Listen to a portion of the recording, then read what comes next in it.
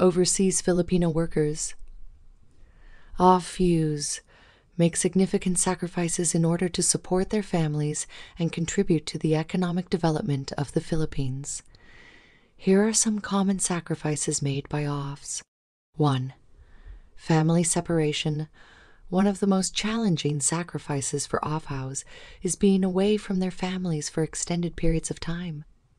Many OFWs leave their spouses, children, parents, and siblings behind to work abroad.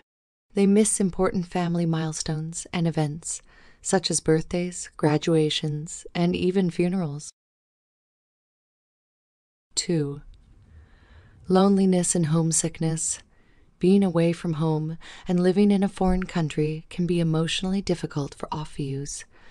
They often experience feelings of loneliness, isolation, and homesickness. They miss the familiar comforts of their own culture, language, and community.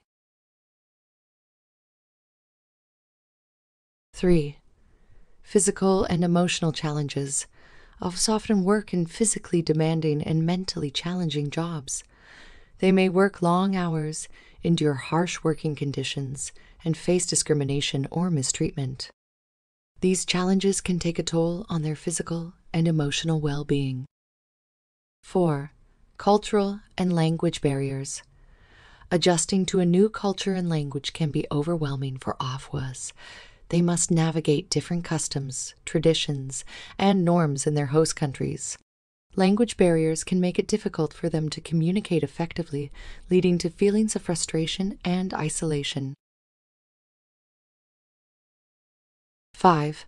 Financial obligations and debt. Many OFWs take on significant financial burdens to provide for their families back home. They often send remittances to support their loved ones' education, healthcare, housing, and daily expenses.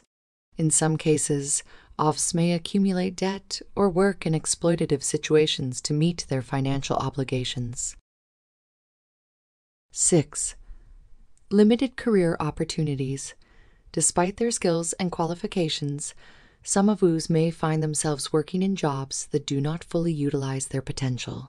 They often accept lower, paying positions, or engage in work that is different from their educational background or professional experience. 7.